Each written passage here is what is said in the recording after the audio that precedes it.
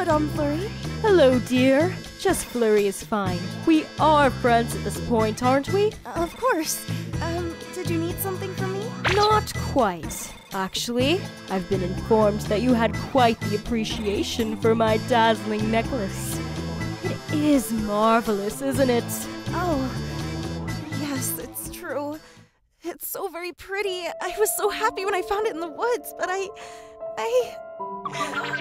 I didn't know it was yours. If I did, I swear I would have returned it, I promise. I didn't mean to try and steal it. I'm sorry.